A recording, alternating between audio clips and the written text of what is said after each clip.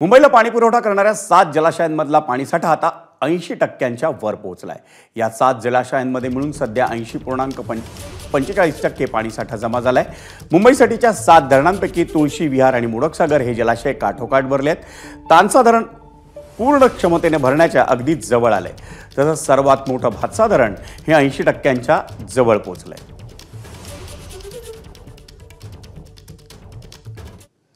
आपण पाहूयात मुंबईला पाणी पुरवठा करणाऱ्या धरणांमध्ये सध्या किती टक्के पाणी साठा आहे?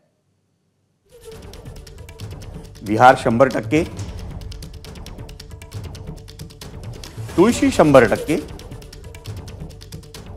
मोडकसागर शंभर टक्के तानसा नव्याण्णव पूर्णांक पन्नास टक्के मध्यवैतरणा पंच्याऐंशी पूर्णांक एकवीस टक्के अपर वैतरणा त्रेपन्न पूर्णांक बावीस टक्के. आणि भातसा एकोणऐंशी पूर्णांक चव्वेचाळीस टक्के.